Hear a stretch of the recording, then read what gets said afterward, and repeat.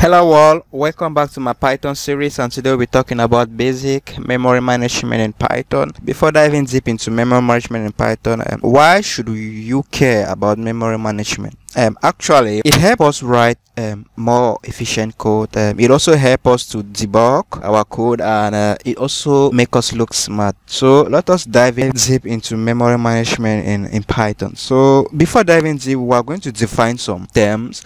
Um, a variable, um, actually a variable is just a container that stores different value. A name, a name is just um, a label for an object, okay? And in Python, each object can have a lot of names, okay? then mutable mutable just mean um, we can change. Uh, meanwhile immutable means we cannot change.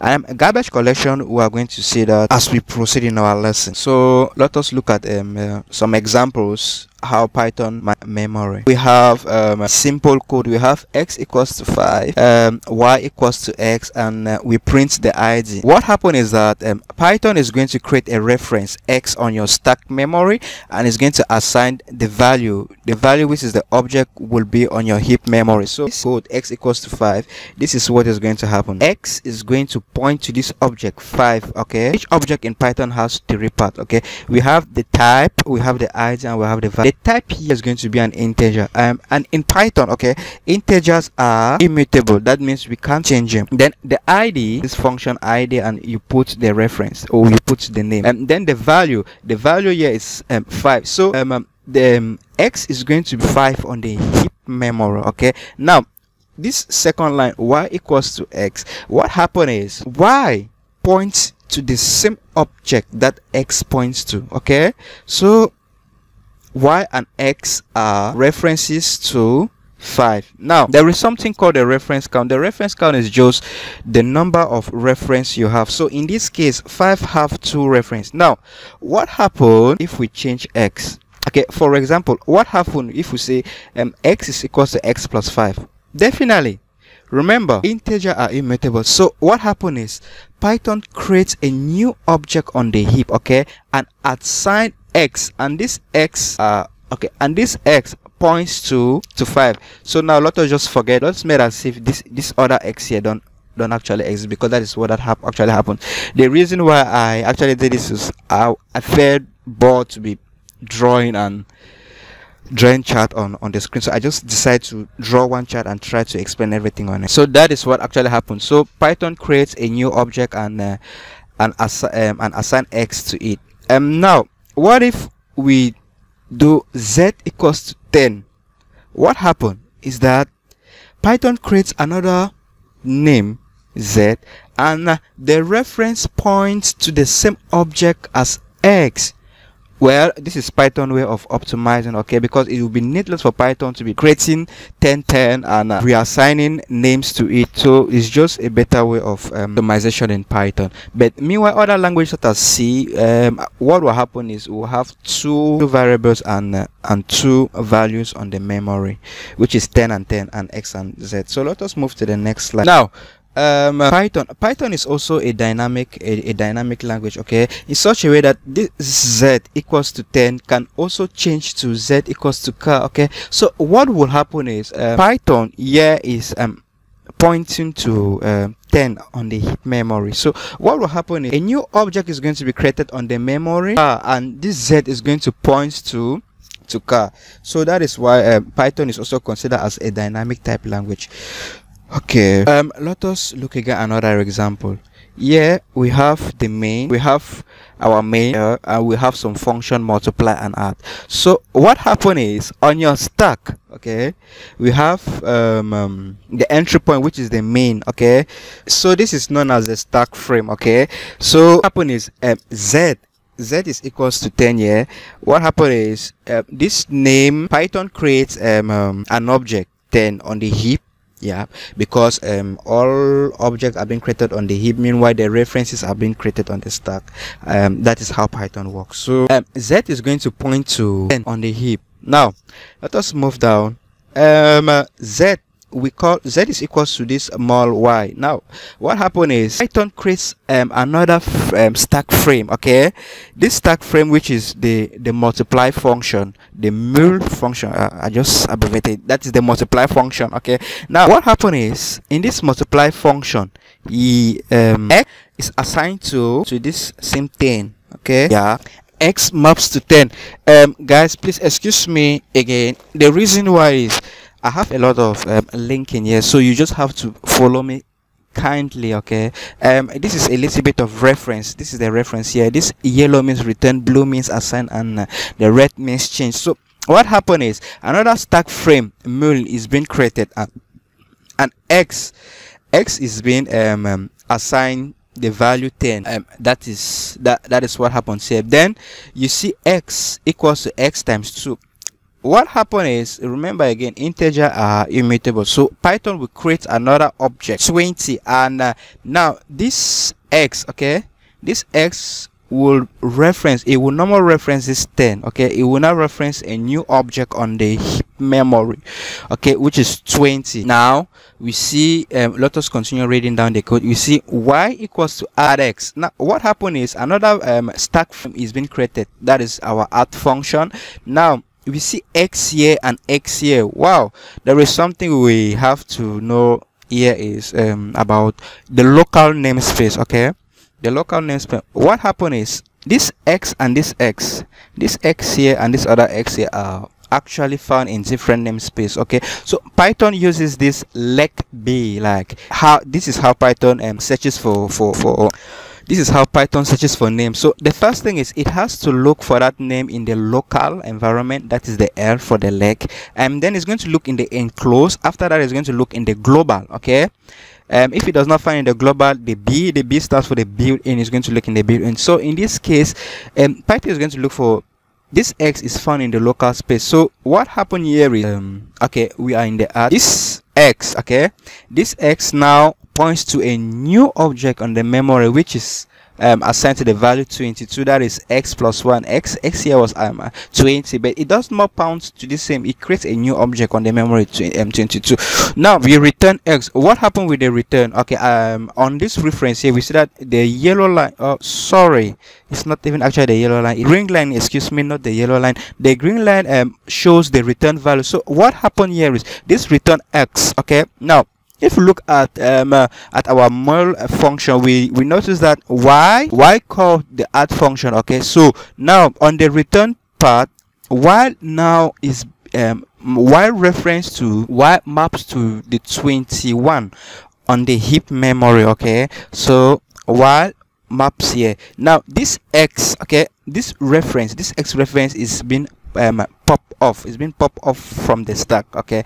Now we come back here we continue reading here. Now we return y which um, uh, is based on the z. So uh, we should look here z.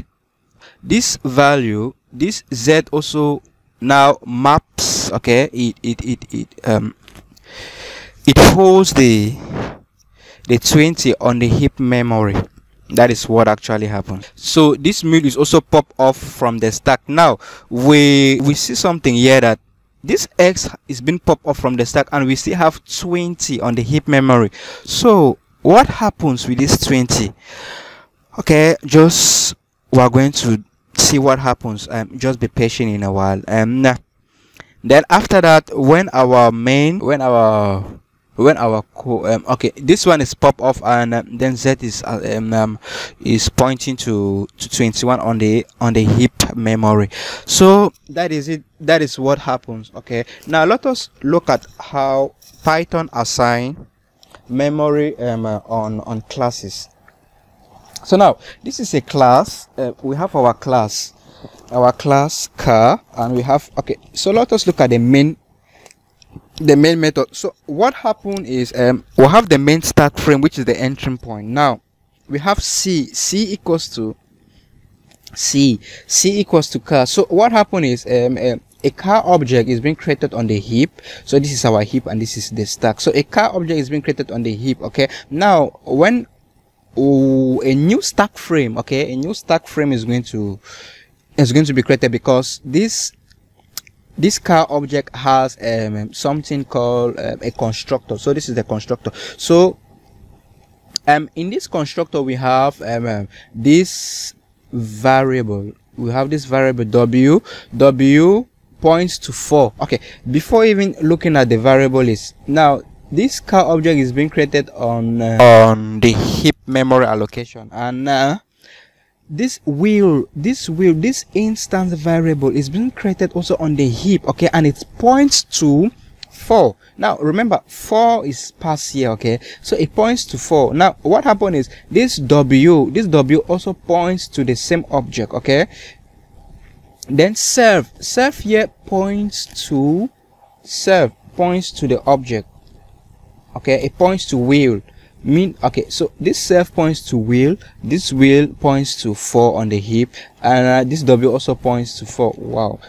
This is how pythons work. Now um, um, if we run this other code this um, um, wheel. what happened is another stack is being created and the self is being passed okay? Now this self points to the object to the car object which the car object stands variable which points to 4 so n the return this this return statement the return and now also points to this 4 okay so that is how um object mem um, object memory are being assigned on python. Okay let's talk about um, garbage collection. Now python python um, there are two two type of garbage collection. We have um, the reference counting we also have tracing but python python uses reference counting. Okay um this reference counting let me go back here. Okay on this code yeah we notice that the reference count of 5 here is 2 okay?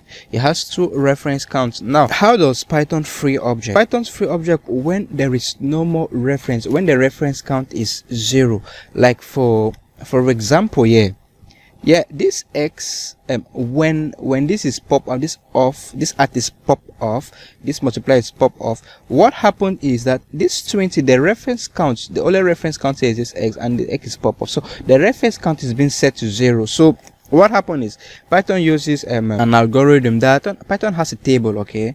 A table that that stores this reference count and uh, an algorithm that um, says through the table if the reference count is zero it um, automatically um, remove this 20 from the from the heap now there are some limitations of there are some limitations of um, references is that um is space overhead because yeah it is really space overhead. Keep a table for assigning this this reference count um it is not generally thread safe. Yeah it is not thread safe because imagine you have two thread that wants to um, um add the same ref count yeah it is going to cause a problem. And uh, um, another um, problem is that it doesn't detect um, a cyclical reference okay? It doesn't detect cyclical reference. The next slide is going to explain what cyclical references are. Now um, um there is this point is um, this point is avoid putting large and complex object on the global namespace. Why?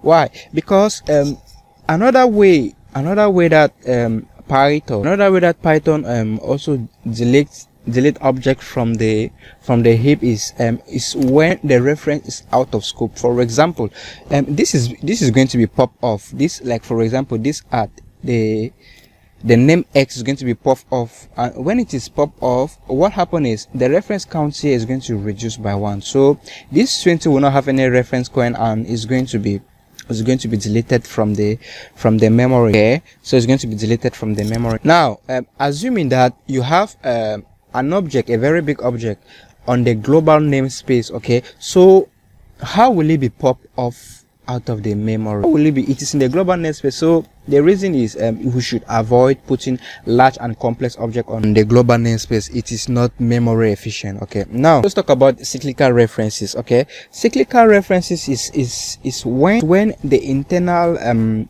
reference for an object is being linked on both sides. Okay let us think like for example we have a node okay? This is a node this node is being linked here and the node is being linked here. Now the reference count of this node here will be one okay? Why why is the reference count one? Is just simply because these two nodes are linked to each other. So um the reference the reference counting algorithm in in in python will not not um, um, delete this object okay? It's not it's not going to release the, delete this object from the from the heap memory. So now um, how can we solve this problem? Um, we have other type of um, algorithm. Um, we have uh, the mark and the sweep. Um, the mark and the sweep algorithm is also is is a tracing algorithm and this is what um, python this is what sorry this is what java uses to to this is what java use for garbage collection okay? So the simple idea here is um it mark any object that is reachable okay and sweep any dead object. So what happened here is um this a dead object okay? So what happened is it's going to mark it and this lexical reference is going to be deleted okay? It's going to be swept out because it is it is a dead object. Okay now which algorithm does python actually uses python python does not use the the mark and sweep but it uses the idea okay? Python uses an another algorithm called um, the generation garbage collection algorithm. This this generation garbage collection algorithm um is a little bit more complex than reference and I'm going to encourage each and every one of us to to take a to to to do a little bit of research um i'm going to put a description on the link of this of this algorithm but let me give you an idea. The idea is um, what happened is python creates generation okay? Python python uh, this generation garbage algorithm is being based on the idea that um, um young objects die early okay? Yeah young object die early. And uh, python uses three three form of generation. It uses um, generation zero the one and the two. So this order this oldest object in your memory tends to live long than the new the newly created object in your memory. So what happened is there is a threshold okay when this okay now generation the generation zero generation zero are where the the the young object tends to live so there is a threshold. Now what happens is when this object reaches a certain threshold python runs a generation garbage collection algorithm and uh, it tends to delete to delete the, the object out of memory. So guys um i hope this video has been informative to you um, and i want to thank you for viewing. Um, i want to also plead on you guys please to support me on my patreon um, and also to to share my my video. And and i also want to thank you for taking your time to view my video. So our next video is going to be um we'll be diving a little bit deep. We'll be um not even diving deep. We'll be entering into python. Now this is where we'll start. Get a real um, um, a real entry into python where the course is going to start for what we have been doing is we have just been um getting your feet wet okay? We'll enter into variables. So our next video will be on variables. We're going to talk about variables. Um actually python don't use variable. Uh, I, i'm just I, I just like calling them variable. It is variable though. So we're going to enter about name. Name is actually the preferred word used in python. So we're going to enter that. We're going to dive deep. So please um, um subscribe um, uh, and give me a thumbs up and uh, share my video and also support me on my patreon. So thank you all for viewing. Bye bye